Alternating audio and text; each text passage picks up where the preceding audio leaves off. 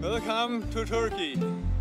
Ende September 2020 sind wir mit dem Rad über Bulgarien in den Westen der Türkei eingereist.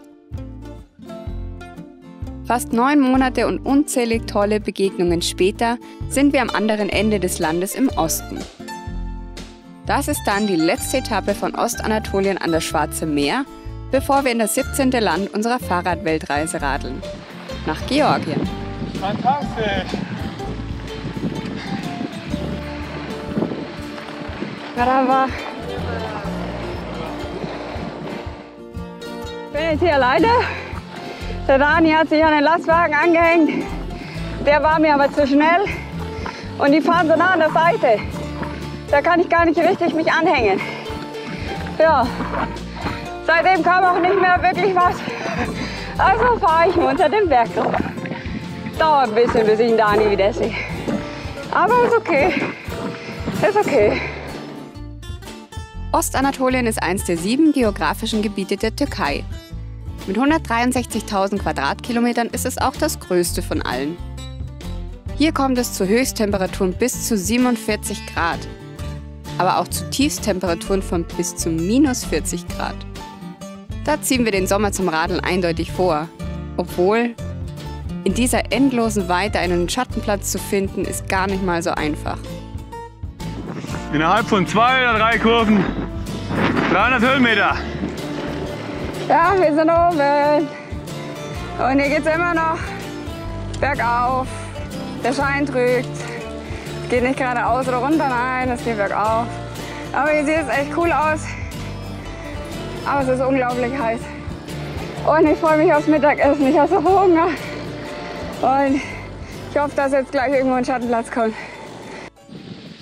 Wir haben es geschafft. Wir haben den einzigen Baum gefunden hier. Nein, stimmt nicht. Das ist der zweite Baum. Der erste Baum, der war belagert von Hunden, die der Polizei gehörten. Was gibt's bei uns zum Essen? Ihr kennt's schon. Das übliche halt. Tomaten mit Es Olivenöl. gibt keine Dingster Pizza. Wie heißt es? Nein, es gibt keine Cheesy Crust. Es war ja auch nur mein Träumen. Und hier Simmet mag ich sehr gerne. Und als Nachtisch ein paar türkische Gummibärchen. da freue ich mich noch. Ach, haben wir noch was vom Dünndarm? Ja, Den gibt's auch noch. Dünndarm. Ja. Ah, und ganz gut, haut genauso rein wie Olivenöl, Hurma, also Datteln. Datteln sind super gut und spenden Energie, also toll zum Fahrradfahren. Rechts von Ostanatolien verläuft die Grenze zu Armenien und weiter im Norden zu Georgien, wo wir auch gerade hinwollen. Zuerst müssen wir dafür jedoch weiter in den Norden fahren, an die Schwarzmeerküste. Leider können wir nicht direkt von der Türkei nach Armenien fahren, weil diese Grenzen geschlossen sind.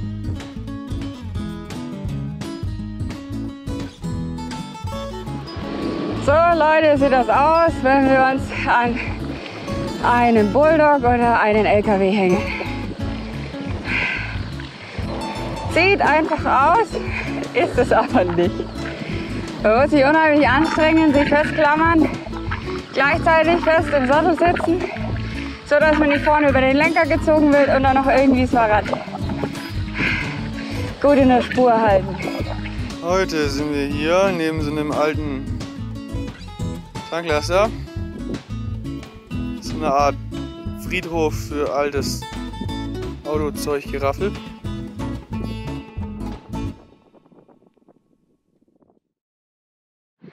Guten Morgen!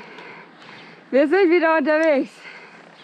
Und wir haben schon wieder fleißig ein paar Höhenmeter geradelt. Und zwar von da unten. Und ich hoffe, man sieht's. Uns umkreisen tausende kleine Fliegen. Und das ist super nervig. Und die wird man erst los, wenn der Wind geht oder wenn man schneller fährt. Also bis wir da oben an der Bergspitze sind, haben wir nette Gesellschaft.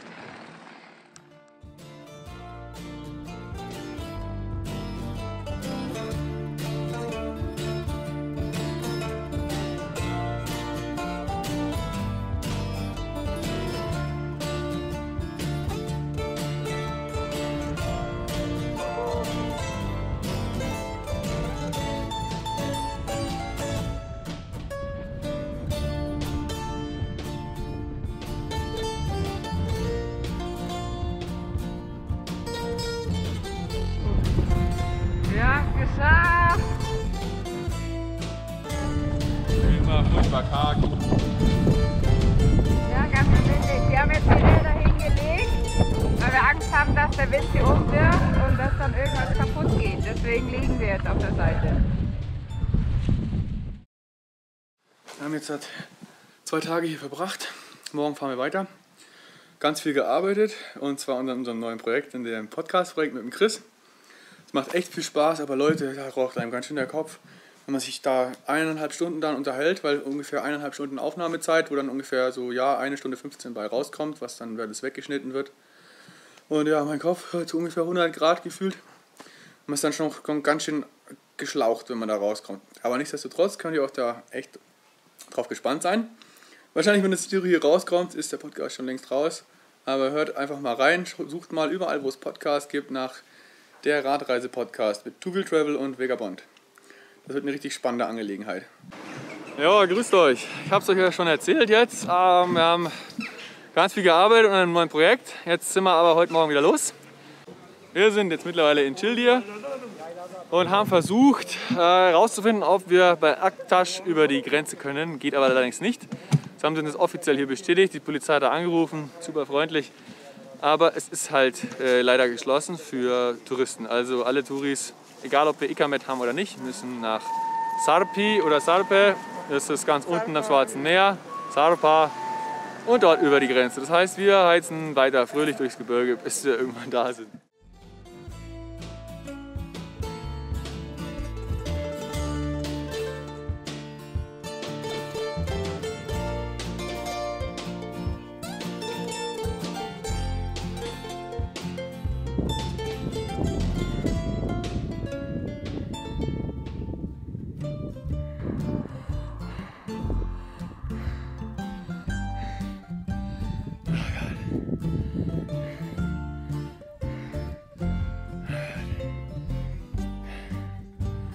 Super Mini.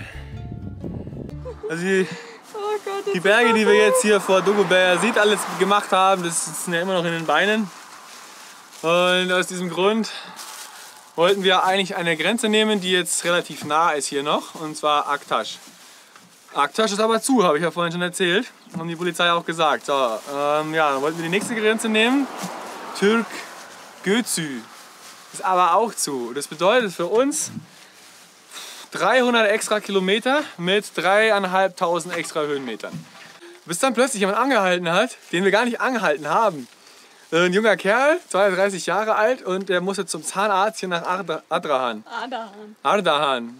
Und ja, so lustig wie es für ihn war, war es auch für uns, weil aus seiner Perspektive, er fährt zu einem total unbeliebten Termin, er muss zum Zahnarzt, was er überhaupt keinen Bock dazu hat. Und dann, dann gabelt er auch noch zwei Verrückte mit dem Fahrrad. Genau. Und ja, genau. Jetzt hat er gesagt, hey, komm, wir nehmen ich euch mit. Und sein Auto war nicht groß. Wirklich nicht, aber wir haben es trotzdem geschafft, alles da reinzukriegen. Ja, und am Schluss hat er uns gefragt, ob wir Hunger haben. Wir so, nee, wir haben gerade gegessen.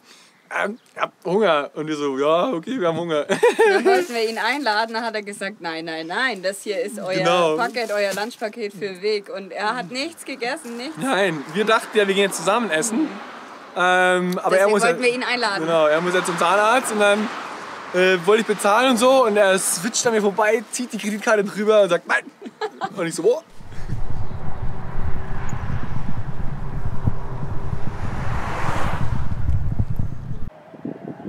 Was ist was los da oben? Die Mugu-Kühe blockieren den ganzen Traffic und wir machen hier Schluss für heute.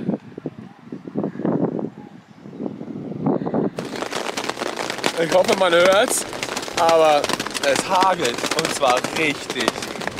Zeig mal her. Ach du Scheiße. Boah, ist das krass. Da guck mal her.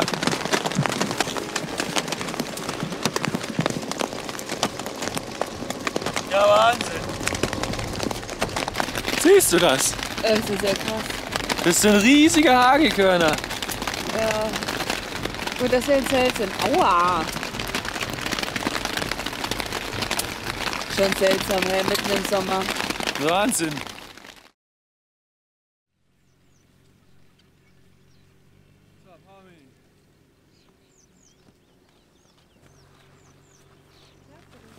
Klar. Uff. Uff.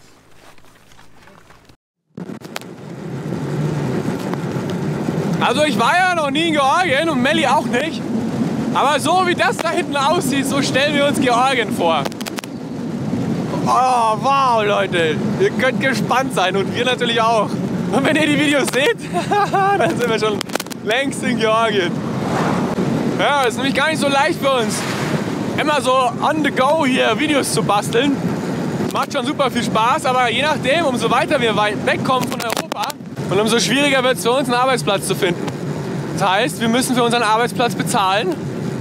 Und ja, das schränkt wiederum die Möglichkeit ein, äh, zu reisen. Aber weil nämlich jede, jeden Euro, den wir ausgeben für eine Unterkunft, um Videos zu schneiden, der fehlt uns wiederum, äh, um länger unterwegs zu sein. Und wir wollen ja eigentlich ganz viel weit reisen und im Zelt wohnen. Und im Zelt kann man aber nun mehr nicht arbeiten. Also ja, wenn man mehr Videos macht, muss man mehr Geld für Unterkunft ausgeben und dann äh, ja, fehlt es an anderer Stelle.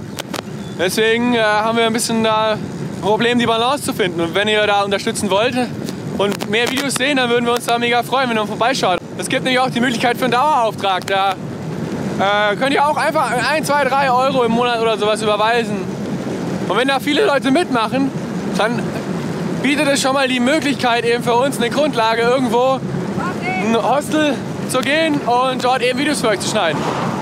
Aber ja, jetzt genug von dem Gefasel. Schaut einfach mal in der Videobeschreibung. Da gibt es die ganzen Erklärungen, wie das alles geht und vor allen Dingen, was ihr auch dafür bekommt. Weil ihr geht dabei nicht auch nicht leer aus. 350 Kilometer extra Umweg. Boah. Tschüss Artwin, ab in Tunnel. Boah Leute, das ist der pure Stress. Das ist grauenvoll. Die Luft ist schlecht, es ist saulaut und super gefährlich. Auf ein neues. So, hier ist Schluss für heute. Wir sind da, boah, keine Ahnung, mitten in so einer Stadt. Da hinten brüllt auch schon der Muezzin. Da sind noch Häuser und so und wir sind jetzt irgendwo am Wegesrand entlang gefahren und in den Vorgarten von so einem Haus. Ja, das ist halt jetzt so. Oben ist das Haus irgendwie ein bisschen am Arsch, unten könnte noch jemand wohnen, wir wissen es aber nicht. Aber es ist auch einfach viel zu viel Stress, jetzt da weiter zu suchen, weil wir sind in der Stadt, da gibt's nichts.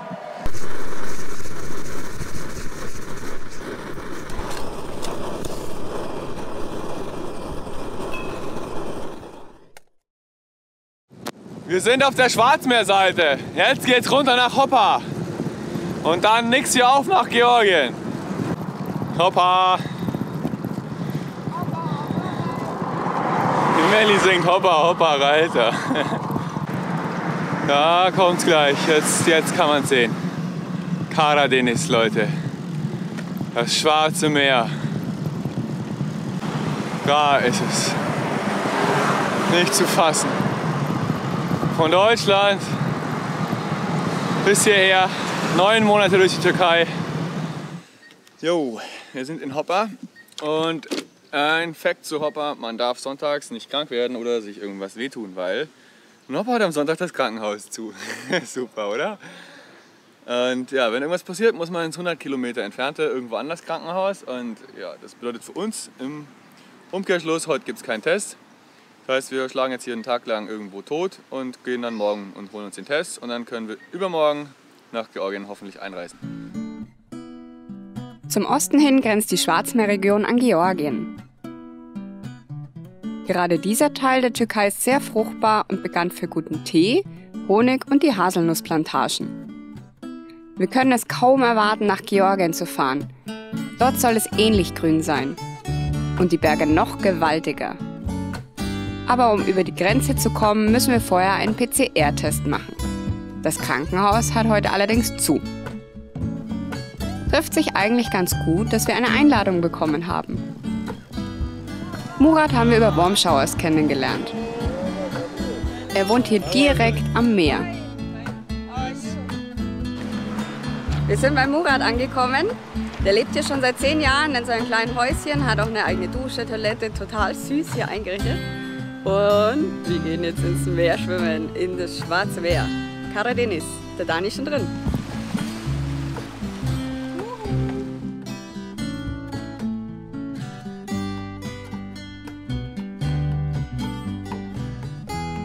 Murat hat sich über die Zeit sein ganz eigenes kleines Reich geschaffen. Weil er so nah an der Grenze zu Georgien wohnt, ist er bei Reisenden bekannt wie ein bunter Hund. Murat lädt viele Reisende über Warmshowers oder Couchsurfing zu sich ein. Auch wenn er jemanden zufällig auf der Straße entdeckt, wird er sofort hergewunken und auf einen Tee eingeladen. Viele Reisende verewigen sich dann auf den Wänden seiner Hütte. Murat freut das. Früher ist er sehr gerne selber gereist. Nun kommt die Welt zu ihm. Der Murat macht jetzt Abendessen für uns.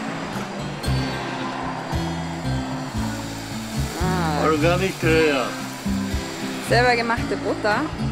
Dann Kokoretsch. Ich glaube, das war Innerei vom Schaf. Ich weiß nicht, ich habe es noch nie gegessen.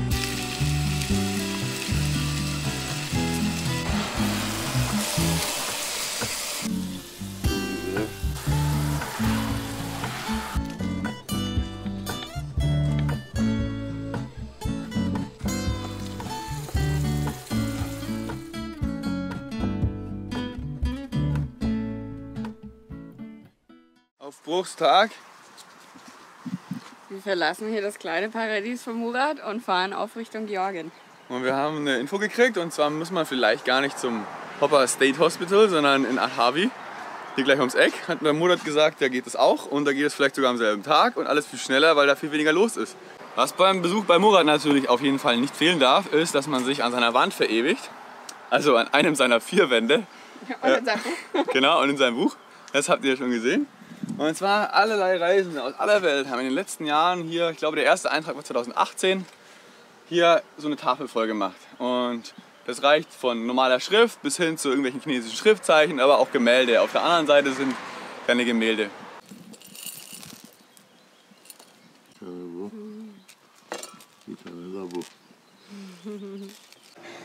Also ich glaube, ich weiß, was er vorhat.